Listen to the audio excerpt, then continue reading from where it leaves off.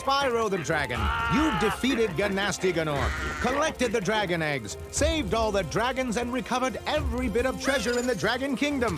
How do you feel? I feel fired up, Bob. And I'm happy for the dragon world, of course.